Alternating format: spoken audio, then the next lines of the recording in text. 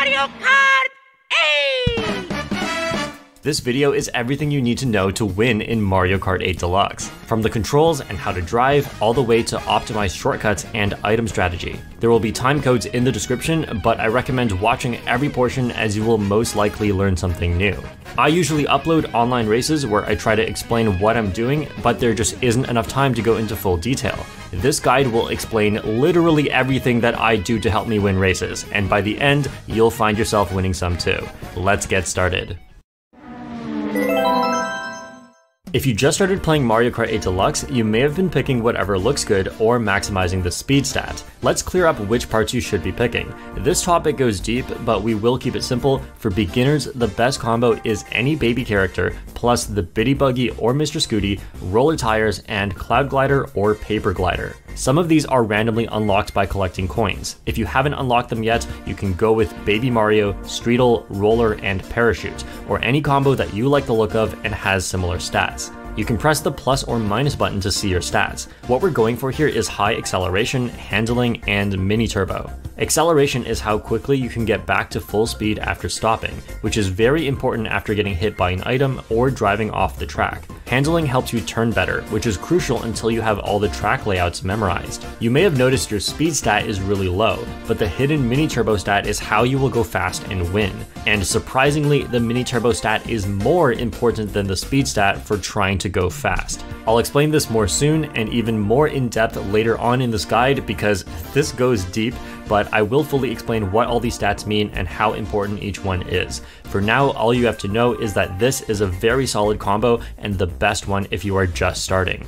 Or you can try out the most popular combo in the game at the time of making this video, which is Yoshi, Teddy Buggy, Roller, and Paper Glider. This combo has more speed and less handling, which is going to be tougher to control for beginners. For now, I'm going to advise against going for a high speed combo. This is because not only is it probably worse, you will have a much harder time improving at this game. The higher speed combos have lower mini turbo, and mini turbo is one of the most important mechanics to master in this game. You can try to improve with a fast combo, but I would not recommend it. And lastly, look out for this icon under a bike. Most bikes have this other icon, but if you see this one, you have chosen an inward drifting bike. These five bikes have inward drift, and they operate differently from most vehicles which have outward drift. I have already made a video covering the differences between them linked in the description. In this guide, we will be covering outward drift because it is what I recommend you choose. But everything that I say from now on will be true for both drifting styles unless I specify otherwise. While you have the stat screen open, you'll want to toggle smart steering off, motion controls off and auto accelerate off. Smart steering is an option that lets the game turn for you to avoid going off the track. This sounds great, but it can prevent you from taking shortcuts, it's sometimes very unpredictable, and it slows you down when it activates. This is for total noobs, and sometimes Mario Kart pros. But our goal today is to learn how to drive properly, so of course we will not need smart steering. Motion controls lets you tilt your controller left and right to turn, but it's far easier and more precise to use your controller's left stick. Auto Accelerate just holds down the A button for you, which is kind of convenient, I guess, but you can't ever stop or slow down if you have to. So just turn all of these off and I will go into more detail later on in the guide because they are important to touch on for high level play. The first track in this game, Mario Kart Stadium, is a great track to learn all the mechanics. We'll start off very simple with the controls. Hold the A button to go forward and the B button to slow down or reverse. At the start of a race, as the numbers go down, you can get what's called a startup boost by holding A at the correct timing. You want to start holding A the moment the number 2 has stopped moving. If done correctly, this will give you the maximum length startup boost. If you start holding A too late, you will get a shorter startup boost, which is not too bad. But if you start holding A too early, you will get a burnout. This is really bad, so if you think you're going to burn out, let go of A for a split second and just keep holding A again after that. Then you'll probably get a decent startup boost. Keep holding the A button as you drive. Use the left stick to move left and right, and you do not need to hold forward to go forward. You'll want to stay on the main road as going into the off-road, in this case grass, will slow you down. But if you have a mushroom as your item, you can activate it to move quickly, including through the grass, in order to take shortcuts. Press the L or ZL button to activate your item. If you don't have an item, you will do a cute little horn honk. The X button is to look backwards. To use this effectively, you should find a way to comfortably hold A with your right thumb while still being able to press X with your right thumb.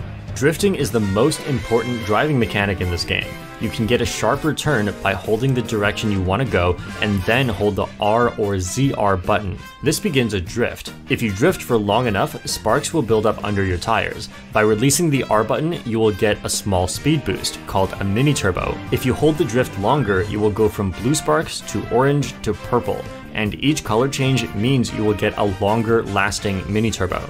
I refer to these by color, but they are also called mini turbo, super mini turbo, and ultra mini turbo. Drifting and mini turbos are the most important driving mechanics in this game, so make sure you are drifting around every single turn to get used to how this controls. The R button is also used to do a trick at certain times. When going off a ramp, press the R button near the peak of the ramp to do a trick. This gives you a speed boost once you land you should be trying to trick off of pretty much every single thing that makes you leave the ground, because most of the time you will be allowed to trick. Instead of using the R button to trick, you can also shake your controller, even if you have motion controls turned off. This can help you get tricks on regions of a track where it is harder to time the R press. You can also trick off of blue glider panels. Once you are in a glider, you fly above the track instead of driving on the ground. You can still move left and right, but you can also move up and down. You have to hold down to go up, and hold up to go down. If this feels weird to you, think about it like you're leaning back or leaning forward. For beginners, you'll spend most of your race only using A to accelerate, R to drift and trick, and L to use items. For now, you can mostly ignore B to brake and X to look backwards, but they are both very important at higher levels, which of course we will cover later in this guide. You have now earned your Mario Kart driver's license. You can now go to Grand Prix to race against the computers. If you have a decent handle on this game, go for 150cc. This is the standard game mode, with 100cc being slower and 50cc being even slower. Mirror mode flips all the tracks left and right, so you'll forget where to go, and 200cc is so ridiculously fast that you'll constantly need to hit the brakes. It can be loads of fun, but not when you're first starting. Once you're on the track, try to figure out how to take turns tightly. The path you take through the track is called a racing line, and having a good line versus a bad line makes a huge difference. And keep in mind that sometimes you'll want to sacrifice a good line in order to charge a higher level mini turbo. This kind of decision making is what makes Mario Kart's drifting mechanic so interesting. One of the first things you'll notice is coins on the track. Collecting these will help you unlock a random vehicle part, but in a race, they also help you go faster. You have a coin count, which can go up to 10, and you lose 3 coins if you get hit. Having 10 coins gives you about a 6% speed increase, or about 0.6% per coin. This may sound very small, but it does make a big difference. Over a 2 minute race, that's about 7 seconds faster with 10 coins, or almost 1 second faster for each coin you have. But that doesn't mean you should grab every coin, because you also lose time going out of your way for them. As a general rule, grab coins that are close to the optimal path until you have 10. A shortcut is another path through the track that is faster than the normal path.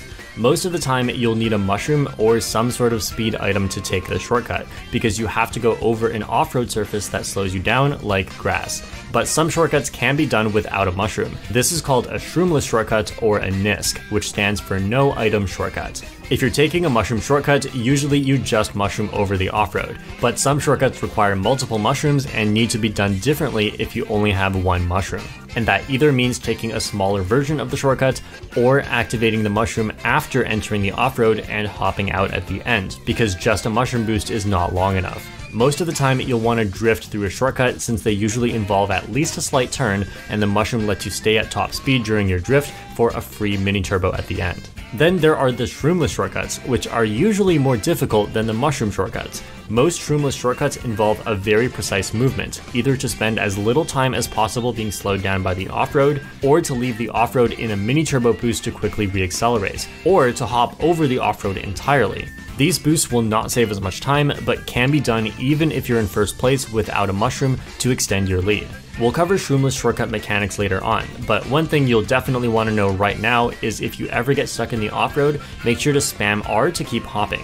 This makes you go a bit faster because you spend as little time as possible with your tires touching the off-road. If you want to see all the important shortcuts on a particular track, I'm currently working on a short video series that will cover all of them, and I'm always taking requests for more. Just search, for example, Donut Plains shortcuts in the YouTube search bar and I may have a video on it. And I cannot stress this enough, but if there's anything you take away from this guide, please let it be this. The number one thing that